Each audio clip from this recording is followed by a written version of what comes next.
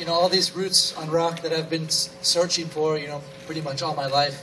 Uh, it's just as much an artistic thing as it is a as an athletic one, and so I, I really feel like, you know, this this is the the comp wall lead area, and I feel, really feel like that uh, does justice to that philosophy to really kind of bring aesthetics uh, into climbing and.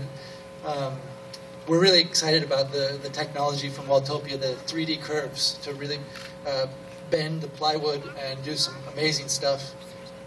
And as you can see, there's some, these uh, lit up blue lines that are kind of highlighting some of the curves on the wall. These are like uh, some back, backlit LED spots, so it's a really kind of something never been seen before. So uh, yeah, we're excited to, to, show it all off. Um, yeah, this is the, the lead arch, um, another another section of the gym that has the 3D curves in it. Um, again, I think it's about 50 feet tall. Um, yeah, it's just been a really cool process, you know.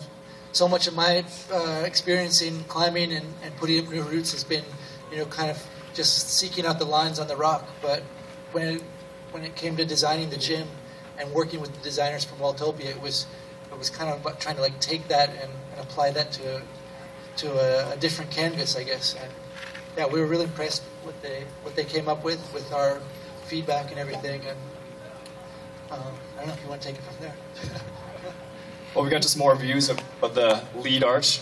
That's a view looking into the uh, to the well to the lead comp wall really. Um, and those little figures actually kind of remind me of Chris and, and Daila right there.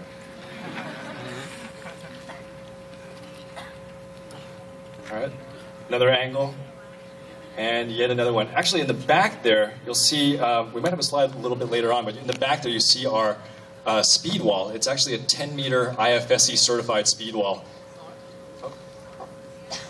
Next to that, you can see two blue lines. Those are two of the five cracks a bunch of you have been asking about whether we would be putting in. There's more, more angles of the, of the whole, of the whole uh, lead and, and top rope area. Over here is more of the intermediate routes area. And you see on the right there, there's another one of the cracks.